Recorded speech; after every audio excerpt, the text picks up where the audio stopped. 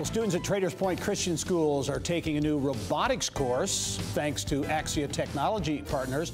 It's actually part of a new multi-year student STEM program that integrates uh, into Traders Point's schools within a school model.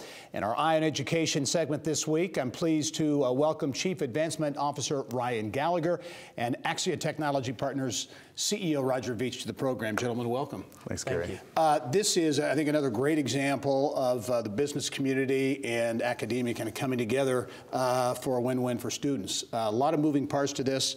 Uh, Ryan, I'll start with you. First of all, uh, Traders Point, the school. Talk, give us a, a, thumbnail description of the school. Well, preschool through mm -hmm. high school, mm -hmm. 18 months to 18 years. Yeah. I've been around for 40 plus years as a, as a preschool, early childhood center and developed over time.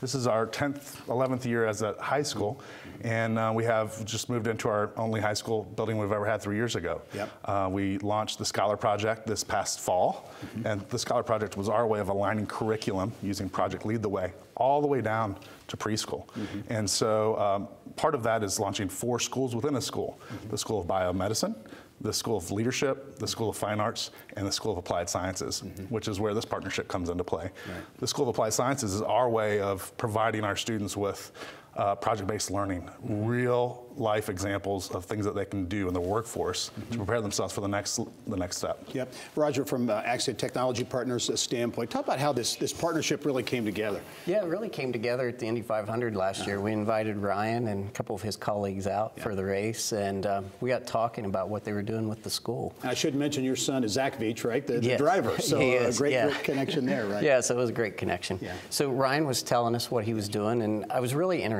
in it because you know my entire career I've focused on helping kids mm-hmm. and you know helping people achieve the dreams that they want you know through their career and I thought this was a good way for us to get involved and, and help kids, you know, be able to go down a technology path and not have to leave Indianapolis. Mm-hmm. Well, talk about it. And from uh, from the company standpoint, how will this work? Talk about uh, the experiences that the students will have and the skills as they come out of this, the skills they'll have. Yeah. So you know, we're we're so we're really focused on training our employees and, and giving them the skills they need to be successful. So we want to do the same thing with these kids. We want to bring them in, give them a path. They can either take a Microsoft Cloud certification path or Cisco engineering certification path. And you know that year that they're with us, they will get certified in that path, and they'll have job-ready skills from that. They could go to work immediately. Yeah, uh, so Ryan, this is, and we look at from the student perspective, these are really hands-on experiences. I know internships are, are, part of this as well. So whether they want to go on to college, uh, go straight into the workforce, or some combination, these students will have that ability.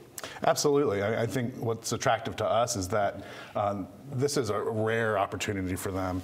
Uh, oftentimes in, in, schools, they're aligned with universities and higher education, which is great, and we are too.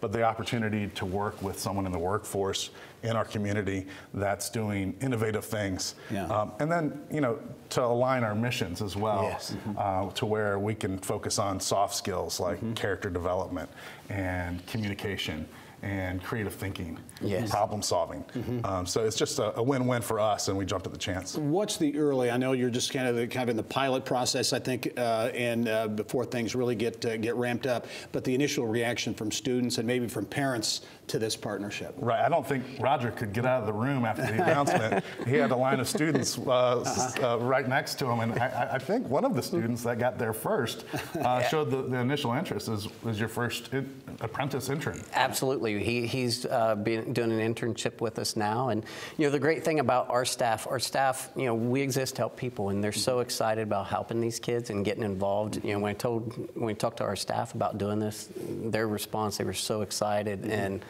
and the excitement that we're getting from the school is just a, it's a perfect combination. It is uh, the proverbial win-win uh, situation uh, being created, uh, a partnership between Axia Technology Partners and Traders Point Christian Schools. Gentlemen, thanks for coming on. Look forward to following up down the road once things get really rolling. All right, thank you. Thanks thank very you. much.